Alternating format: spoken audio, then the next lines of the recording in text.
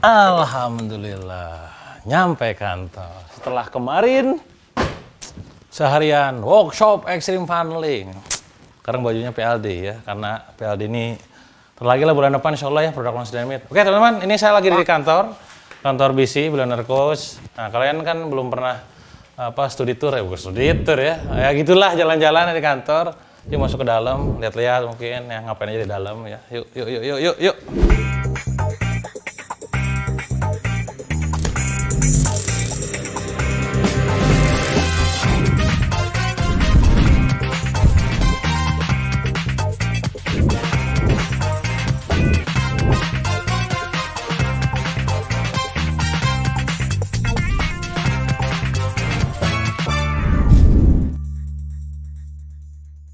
Waduh, Assalamualaikum. Wah, sepertinya lagi pada kerja ini orang-orang. Kerja tuh dikerjain. Wih, kerjain. Ini nih kanvas-kanvas, ini culture kanvas, kanvas apa nih? Tantri, oh berarti super team, super team building. Nah, ini, ini bukan pizza ya ini ya. Ini borang. Yuk ke atas yuk. Lihat anak-anak. Tuh, ini adalah anak-anak yang sepertinya kerja padahal ini nggak kerja. Ini cuma sekedar sok sibuk. Ini nih. Tuh, gua datang langsung berubah. Anda sepertinya tuh kan keciduk ini ya. Ini kepada ke mana yang lain? Wih, ada kucing lagi sholat. Kucing aja sholat di kantor kita. Aduh ya Allah ya Rabbi Haridang. Eh, kumaha dah ya barang ya? Traktir Akmal. Pus apa lah tapi. Jadi biasa kalau udah workshop, mereka pada libur dulu sehari, terus besoknya ada masuk lagi dan apa ya? Apa yang apa yang seru nih? Makan. Ikan ikan. Eh, ikan ikan gue bener ya. Gak bohong sini, ini Afik ini namanya Afik Afikan ini nih. Tuh, banyak lagi rame katanya iko-ikoyan palsu. Gue bener tuh berapa ratus juta gue habis tuh. Tuh, tunjuk, tunjuk. Tuh, oh ini aja sehari 66 juta. Wow, 140. Afik mendadak kaya pokoknya ya. Mendadak ya bener, iko-ikonya bener kalau kita mah ya. Aduh capek ya, dadak. Eh makan makan apa enaknya Dim? Kayaknya yang lagi viral kalau mie gacor gimana nih? Mie gacor. Mereka cuma makan Jogja ya? Oh, di Bandung udah ada. Oh udah ada ya. Males coy, ke sana coy. Eh, udah online sekarang juga. Oh iya gitu ya. Jadi kita online pesan. Udah. Eh lu udah pada nyoba mie gacuan belum? Belum ya? Atau udah? Eh, Jadi seneng dong. enggak mau gak? Atau yang lain? tahu, tahu namanya, tapi belum pernah nyoba. Oh, jadi sekalian. Jadi trainernya CS Ninja pengen makan mie gacuan, kita kabulin. Kita kabulin. Oke, siap. Yuk kita order. Terus kita order berapa nih? Satu, dua, tiga, empat, lima, enam sama kucing. Eh, di bawah berapa orang? Empat, sepuluh berarti ya. Sama Firja. Oke, sini. Barusan di dalam kan ada enam, di bawah kalau nggak salah ada empat. Jadi yuk kita coba order aja ya mie gacuannya lewat online. Konon katanya ngantri ya, bener gak sih? Ya kalau ke sana males pak. Udahlah kita pesen order online aja. Nanti kita makan cobain di sini ya. Nanti kita bedah apa yang bisa kita pelajari buat bisnis kita masing-masing. Oh masya Allah teman-teman semua ini udah datang mie gacuannya berapa biji nih ya? Saya hitung total pokoknya barusan mesan banyak pokoknya lah ya. Satu ada yang rasa iblis, rasa angel tuh mungkin malah ikat kali ya maksudnya, bukan angel, angel. mie iblis level 6, wow ini level 6 nih.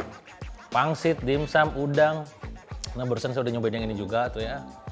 Total gila gak? Ini dari total semua orderan yang 20 pieces lebih nih. 6 tambah 6, 12 tambah 1 tambah 4 tambah 2 tambah 2 tambah 2 banyak pokoknya. Itu cuma ngabisin 322 ribu. Ya murah ya banget ini. Nah gak tau rasanya gimana ya. Berudak mana ya ayuhal bilionerun ya. Ambil sendiri enak aja lu nyuruh gua gaterin. Mantap. Ayo sini sini. Gue jadi sales sekarang lah.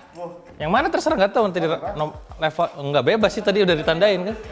Ini level 6, level 4. Aduh level 1, Anda nih nggak punya nyali gimana ya? Nggak ngambil ambil sendiri lah, udah gede semua ya. Anak coy. Wah berisik tuh di atas tuh. Ini tuh banyak, banyak banget ya. Kalau dari rasa nih, gue kayak kayak ini nanti, kayak apa? tukang review makan.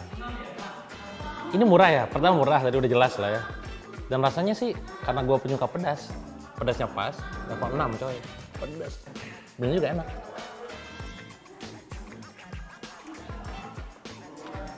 Pak, udah pak. Pelajarannya apa? Pelajarannya enak dulu bentar ya.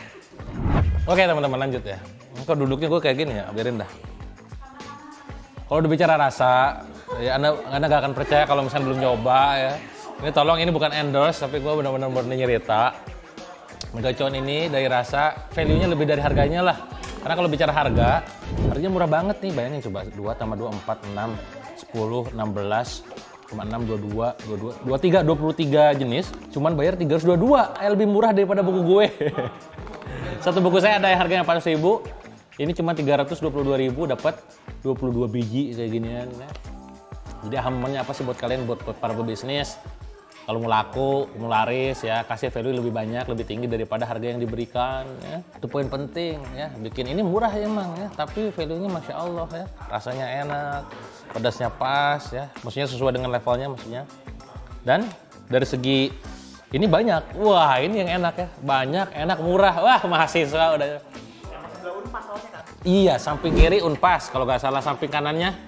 Samping kiri UPI, samping kanan Unpas yang di Bandung itu. Jadi nomor satu, Anda silakan bikin sebuah produk yang kalau mau affordable ataupun murah bahkan, tapi pastikan tidak mengurangi namanya kualitas. Di saat orang lain beranggapan bahwa ada harga ada rupa, nah enggak ini mah ada ada harga, ada rupa katanya enak, tapi harganya juga pas. Gitu. Kedua, kawan-kawan semua, ini kita kalau ngelihat dari segi makanan mungkin eh, standar lah ya mie dan segala macam. Tapi justru kita ber- berpikir sudut pandang pengusaha. Apa maksudnya? Kok bisa murah? Kok bisa sih murah? Ngasih murah dan enak gitu kan postingan gitu. Kan challenge di situ ya. Pastinya ini kalau misalkan teman-teman track setelah saya kepoin juga ternyata memang dia punya akses ke vendor yang juga pabrik dan juga apa nih bahan-bahan bahan langsung, bahan mentahnya langsung. Jadi bahan mentahnya langsung dapat dari ujung hulunya dan produksinya masih banyak sehingga jadi murah. Kalau Anda ngambilnya cuma satu-satuan doang dan ke, ke ujungnya pasti jadi mahal HPP-nya. Ingat supaya pastikan HPP jadi murah Anda harus produksi banyak. Nah kalau produksinya kecil pasti mahal. Yang nomor dua adalah kalau Anda pengen dapetin ngegenjot HPP murah, maka Anda kudu punya kontrak khusus sama orang yang memang di hulunya. Itu poin pentingnya gitu ya, supaya nanti bisa naikin HPP dan naikin value pada akhirnya nanti pada saat jualan. Itu nomor dua. Jadi tekan HPP dengan cara eh, ada akses langsung ke si vendor ataupun ke hulunya. Ketiga teman-teman semua, ini dalam bisnis ya strategi competitive advantage gitu. Ada yang memang mereka tuh produknya yang beda banget, unik kayak Apple lah perusahaan Apple gitu ya. Ada yang kayak produknya tuh dia memang posisinya tuh secara harga murah banget. Posisinya kalau Mega Cuan ini saya lihat itu ini berada di tengah-tengah gitu. Harganya murah banget, produknya enak gitu kan. Nah dia ngambil yang ke bawah tuh operational excellence bahasanya tuh bahasa lainnya cost leadership gitu. Jadi anda bikin sebuah produk yang memang murah banget, mainnya di volume. Kenapa saya order ordernya online? Karena gue kalau datang ke sana males, ngantri panjang, ini pun nunggu tadi 75 menit. Ya. Konsekuensinya gitu kan, ketika murah harus banyak. Kalau anda jual produk murah tapi nggak banyak, sayang banget gitu. Makasih lagi, bisnis modal di awal ditentukan. Mainnya mainin volume atau mainin quality premiumnya produknya yang bikin mahal tapi dikit atau murah tapi banyak gitu. Jangan malah eh, pengen mahal tapi sedangkan pengen masih banyak ya. Ada ada challenge di situ nanti gitu. Itu ya teman-teman pelajaran pentingnya. Pertama harganya yang murah dan dengan kualitas yang tinggi sehingga jadi viral. Kedua, akses HPP yang bikin ditekan rendah dengan vendor hulunya. Ketiga, Anda menangin competitive advantage-nya di bagian mana? Apakah produk unik, atau cost leadership, atau operational excellent? Nah, itu Anda yang mana tuh? Itu pelajaran buat kalian, sama kayak di perusahaan saya. Di Below Cost ya, gak mainnya gak murah. Mainnya produk yang memang punya value. Tapi di yang lain, saya main yang murah gitu. Kebayang? Udah, gue usah lama-lama ya, gue makan. Enggak lah, ambil hikmah sendiri aja udah gede ya. Terima kasih, makan. Itu nggak jadi level 8 si Akang nih. Pas banget gila. Duh. Ayo, level 6 gak habis. Gimana Pak? Penangis Pak? Otakku nge-like.